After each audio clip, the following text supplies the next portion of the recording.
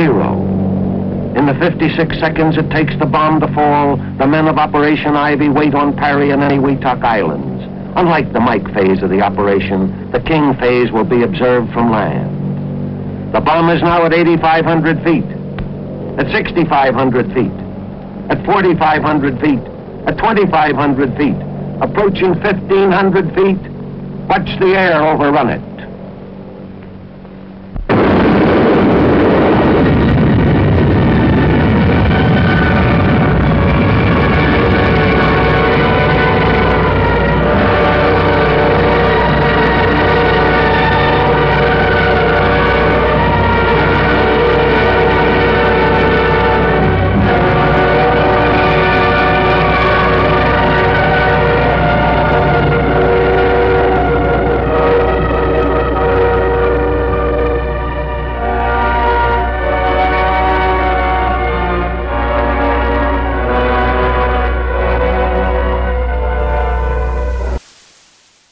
Check out my other videos and subscribe, and let me know what you think of this video.